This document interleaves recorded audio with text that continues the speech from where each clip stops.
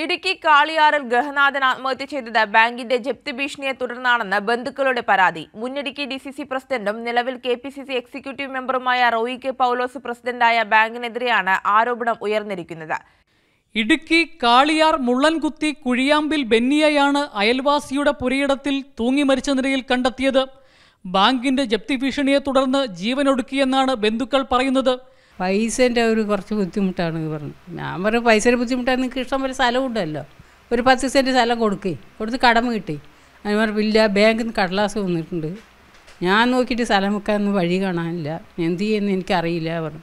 ഞാൻ പറഞ്ഞു ശരി അമ്മ എന്തെങ്കിലും തീർമാനം ഉണ്ടാക്കാം. എന്ന് പറഞ്ഞിട്ട് വന്ന ആളാണ് അന്ന് രാത്രി ഇവിടെ വന്ന് ഞങ്ങൾ പിറ്റേ ദിവസം വരുമ്പോഴേക്കും ഇവിടെ മരിപ്പ് മരിച്ച ബെന്നിയും ഭാര്യയും നാഗാലാൻഡിൽ അധ്യാപകരായിരുന്നു.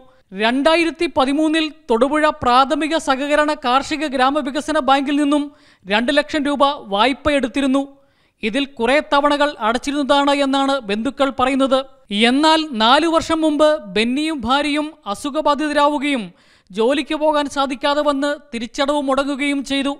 ഇത് അടയ്ക്കണം എന്ന് പറഞ്ഞിട്ട് ഇതിൽ മനോവിഷമത്തിലും പുള്ളി ചെയ്തിരിക്കുന്നു. പിന്നെ ഇത് ഇതൊക്കെ അവിടെ നിന്ന് വന്ന. ഇതാണ് ഓരോ ബാങ്ക്. ഇത് സഹകരണത തൊടുപുഴ പ്രാഥമിക സഹകരണ കർഷക ബാങ്കിൽ നിന്ന് വന്നത്. പിന്നെ എല്ലാം കൂടെ കടവായപ്പോൾ പുള്ളിക്ക് എന്ത് ചെയ്യണമെന്ന് മാനസികമായി തളർന്നു. അതുകൊണ്ടാണ് പിന്നെ ഈ പത്ര നോട്ടീസും എല്ലാം കൂടെ ആയപ്പോഴാണ് സൂസൈഡ് ചെയ്തത്. ബെന്നിയുടെ രണ്ട് പെൺമക്കളിൽ ഒരാൾ നഴ്സിംഗിനും മറ്റൊരാൾ പ്ലസ് ടുവിനും പഠിക്കുകയാണ്.